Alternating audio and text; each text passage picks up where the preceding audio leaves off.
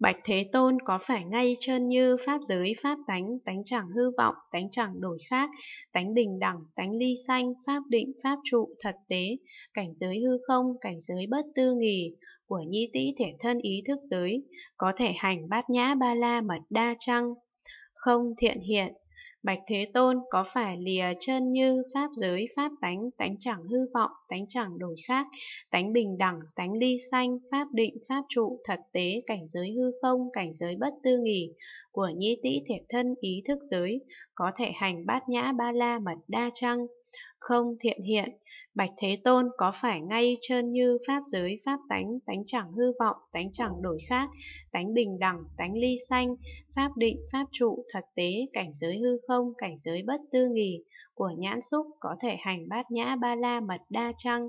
không thiện hiện, Bạch Thế Tôn có phải lìa chân như pháp giới pháp tánh, tánh chẳng hư vọng, tánh chẳng đổi khác, tánh bình đẳng, tánh ly sanh, pháp định, pháp trụ, thật tế, cảnh giới hư không, cảnh giới bất tư nghì của nhãn xúc, có thể hành bát nhã ba la mật đa trăng,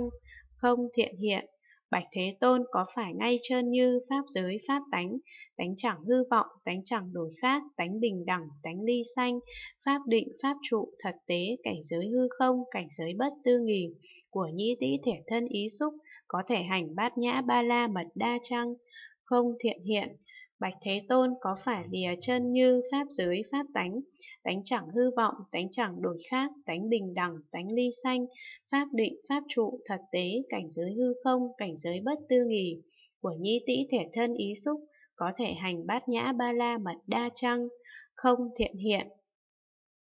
Bạch Thế Tôn có phải ngay trơn như pháp giới pháp tánh, tánh chẳng hư vọng, tánh chẳng đổi khác, tánh bình đẳng, tánh ly sanh, pháp định, pháp trụ, thật tế, cảnh giới hư không, cảnh giới bất tư nghỉ, của các thọ do nhãn xúc làm duyên sanh ra, có thể hành bát nhã ba la mật đa trăng, không thiện hiện, Bạch Thế Tôn có phải lìa chân như pháp giới pháp tánh, tánh chẳng hư vọng, tánh chẳng đổi khác, tánh bình đẳng, tánh ly sanh, pháp định, pháp trụ, thật tế, cảnh giới hư không, cảnh giới bất tư nghỉ, của các thọ do nhãn xúc làm duyên sanh ra, có thể hành bát nhã ba la mật đa trăng,